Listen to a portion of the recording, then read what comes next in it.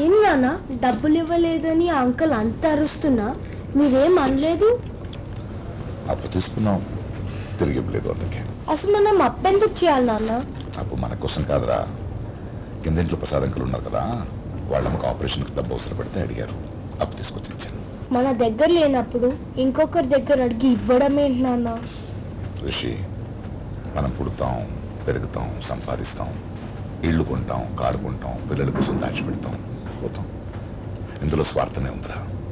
కానీ మన దగ్గర ఉన్నా లేకపోయినా పక్కోడికి సహాయం చేస్తే అందులో సంతోషం ఉంది. మీరేం చెప్తున్నారు నాకు అర్థం అవ్వట్లేదు నాన్న. అయినా మీరు ఇన్ని టెన్షన్స్లో ఉండి కూడా ఇలా నవ్వుతూ ఎలా కూర్చుంటారు నాన్న? స్వార్థంలో టెన్షన్ ఉందిరా. సహాయంలో సంతోషమే ఉంది. ఏదో ఒక రోజు నీకు అర్థమవుతుంది